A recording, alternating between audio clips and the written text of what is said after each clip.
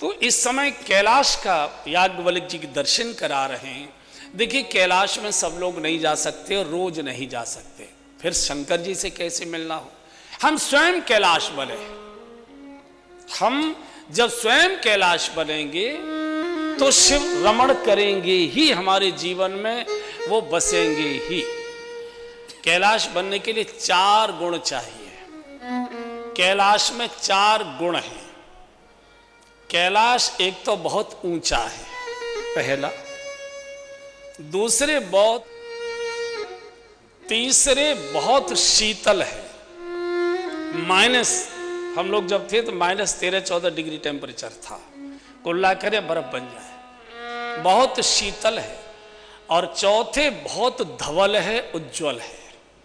किसी प्रकार की उसके ऊपर कोई धूल, धक्कड़ नहीं।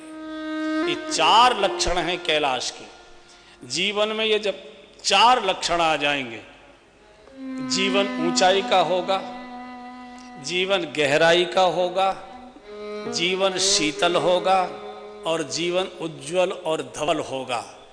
तो शिव दौड़े आएँगे। जैसे राधा राधा बोलते, बिहार जी दौड़ कर आते हैं, ऐसे चार लक्षण होते ही कैलाश बहुत ऊँचा है। ऊँचे तो और भी पहाड़ हैं। लेकिन वो पूज्य नहीं है। वे रम्य नहीं है। वे वंदनीय नहीं है। वहाँ भक्त नहीं जाते। एवरेस्ट बहुत ऊँचा है। एवरेस्ट से और ऊँचे हैं। एवरेस्ट की ऊंचाई और और कई पहाड़ हैं जो बहुत ऊँचे हैं। लेकिन वहाँ न तो भक्त जाते हैं और न वहाँ से जाकर लौटकर भक्त बनते हैं। वहाँ सैलानी जाते हैं। वहाँ प्रतियोगिता वाले जाते प्रतियोगी जाते हैं। वहाँ पर्यटक जाते हैं। कैलाश जाता है, भक्त जाता है। भक्त जाता है, अगर किसी भक्त के साथ शौक में चला गया तो लौटकर भक्त बन जाता है। चुग प्राणों से जब बीतती है और भगवान शिव खड़े होकर जब कोई औषधि चटाते हैं और आँख खोलकर देखता है कि हाँ मैं ज़िंदा हूँ तो वहाँ से लौटकर वो भक्त हो जाता है।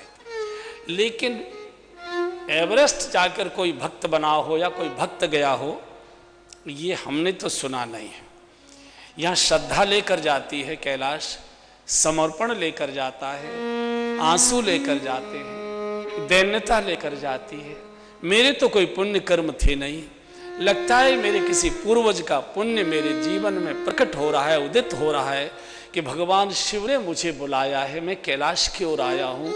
बिना किसी पुण्य के, सत्कर्म के, बिना कृपा के, बिना आंसुओं के, बिना दैन्यता के अहंकार लेकर गए, पुरुषार्थ लेकर गए तो मैंने बताया कि गण बहुत पिटाई करते हैं। एवरेस्ट में ऐसी कोई आचार संहिता नहीं है। एवरेस्ट जाते अहंकार लेकर, पुरुषार्थ लेकर, प्रतियोगी भाव लेकर, झंडा गाड़ने, जय जयकार करने, सम्मान समारोह आयोजित कराने के लिए कि हम जीत कर आए हैं, वहाँ विजेता का भाव लेकर आते हैं, यहाँ हार का भाव लेकर आ गए मैं तो जीवन से हार गया, प्रभु, आपकी शरण में आया हूँ, आपके चरणों में आया हूँ, मेरे ऊपर कृपा करें।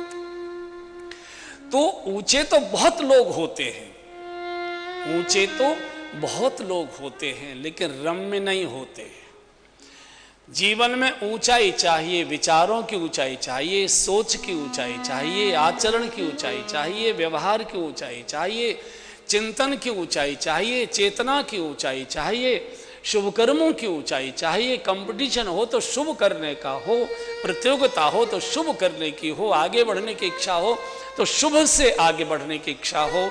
ये कैलाश बनने की जिसको शिव पसंद करते हैं, अपने लिए रमण करने का बिहार स्थल बनाते हैं, ऐसे मनुष्य के हृदय में भगवान शिव आकर वास करते पहला, बहुत लोग ऊँचे होते हैं, योग्यता से, विद्वत्ता से, पद से, प्रतिष्ठा से, पैसे से। लेकिन शीतल नहीं होते शीतल नहीं होते अहंकार की ऊर्जा हर समय धधकाती है। उनकी इच्छा के विरुद्ध कुछ भी हुआ तो एकदम ललकारते हैं, उबलते हैं। तो ऊँचा होकर शीतल रहना, ये बहुत बड़ी बात होती है। योग्यता कम हो लेकिन आप शीतल स्वभाव के हैं, सौम्य स्वभाव के हैं तो आप के आकर्षण अलग प्रकार के होंगे। लोग न चाहने के बाद भी बहानों से आपसे मिलना पसंद करेंगे। और आप शीतल अरे यार, किसके पीछे कहाँ जा रहे मूड और बिगड़ जाएगा। रहने तो होगा, बड़ा आदमी होगा, अपने बड़ा पद होगा, हमारा क्या लेना देना? व्यक्ति गली बदलता है। तो ऊंचाई के साथ दूसरा सर्वोत्तम गुण है जो हमको कैलाश बनाता है, वो है शीतलता। जरा जरा सी बात पर जो उबलता है। मैं कहानी पढ़ रहा था। एक सज्जन के पास एक हीरा था।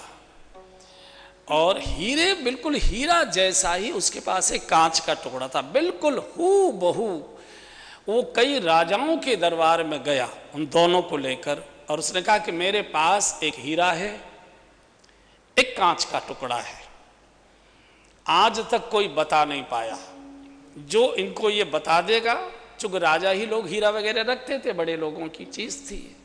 तो जो इसको परीक्षण करके बता देगा हाथ में लेकर तो मैं उसको हीरा भेंट कर जाऊँगा। अगर नहीं बता पाए तो हीरा के बराबर संपत्ति ले जाऊँगा। तो वो कई राजाओं की संपत्तियाँ ले आया। एक बार गाजियाबाद के आसपास आ गया वो। वहाँ भी हीरे वाले बहुत रहते हैं। तो कोई बड़े रहे होंगे। पहुँच गया उनके दरबार में। उसने यही कहा कि मैं देश भर में भ्रमण कर रहा हूँ अपने हीरे की पहचान के लिए।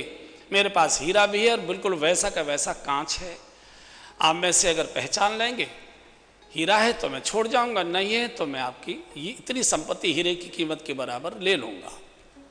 सब आप उसमें देखने लगे उनके दरबारी लोग, जो भी स्टेट के मालिक रहे होंगे, राजा रहे होंगे, बड़ी मुश्किल। चक चक चक चक, क्या कर, डर भी लग रहा है, मानो नहीं हुआ तो संपत्ति भी जाएगी। तो चक चक हो रही थी। इतने में एक अंधा व्यक्ति अपनी फरियाद लेकर राजा के दरबार में पहुँच गया, दिखाई तो उसे देता नहीं था अपना कागज़ लेकर।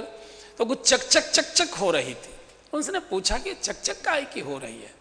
बोले, कोई सज्जन आए हैं और उनके पास हीरा है, कांच है। और उसकी पहचान कराने के लिए आए हैं और कह रहे हैं कि पहचान लेगा तो हम छोड़ देंगे।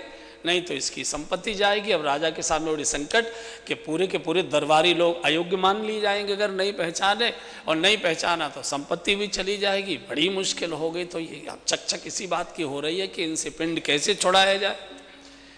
तो इन्होंने कहा कि आप मुझे अवसर दे सकते हैं? एक बार मुझे देखने दीजिए। बोले, आपको तो दिखाई देता नहीं है। बोले, कोई बात नहीं, पहचान लेंगे हम। कोई पढ़े लिखे तो है नहीं, देख लेंगे। तो राजा ने कहा, ठीक है भाई। चलो तुम देखो। बोले, जी, ऐसा करो। ये दोनों को एक बाहर ले चलो। धूप में रख दो थोड़ी देर। तो थोड़ा समझ में आ जाएगा मुझे। क्योंकि मुझे आँखों से नहीं दिखाई देता तो हो सकता है उसकी चमक से मुझे समझ में आ जाए।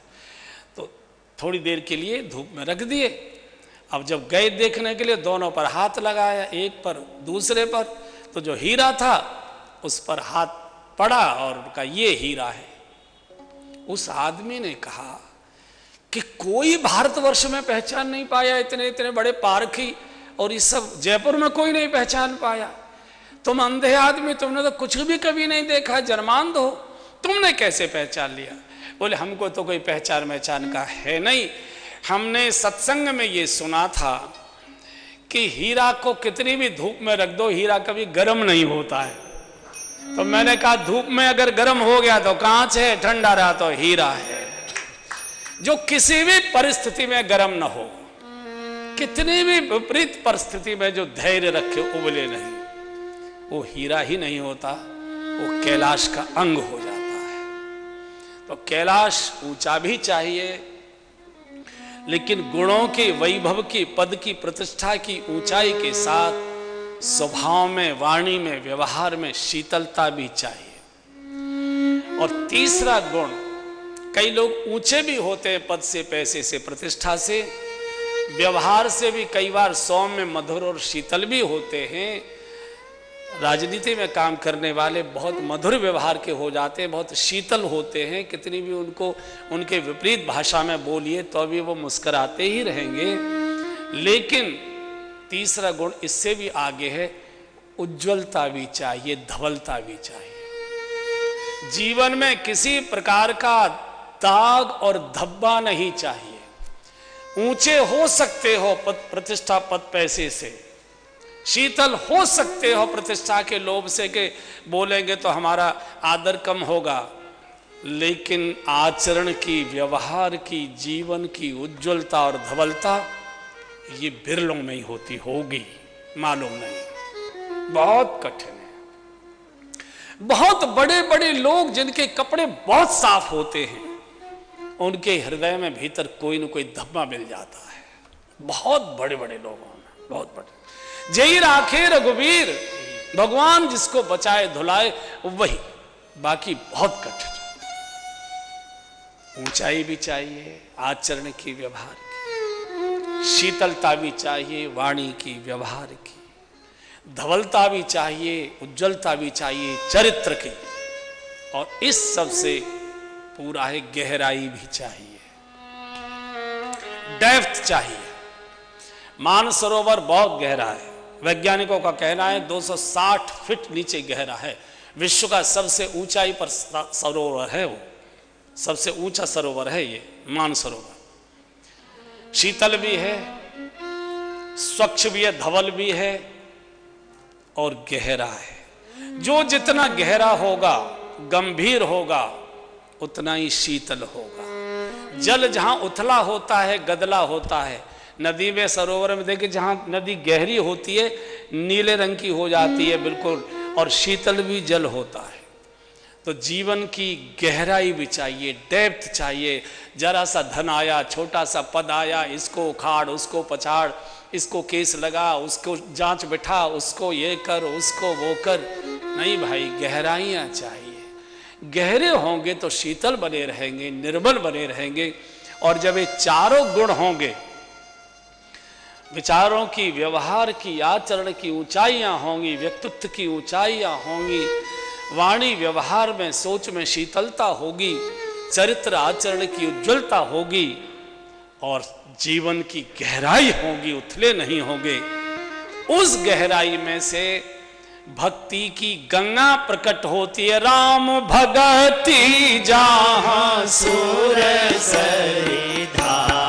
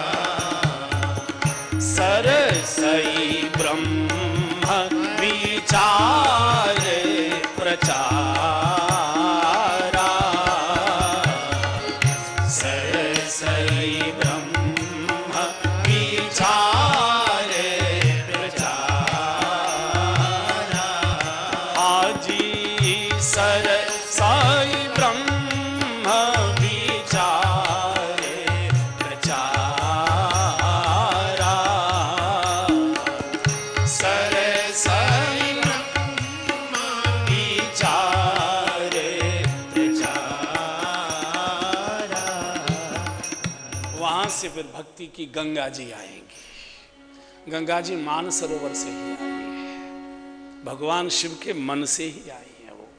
उनकी ऊंचाई से उनकी शीतलता से, उनकी उज्जवलता, धवलता से और उनके हृदय की गहराई से।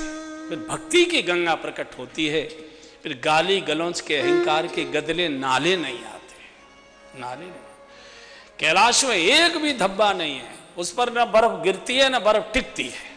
बिल्कुल हीरा जैसे खड़ा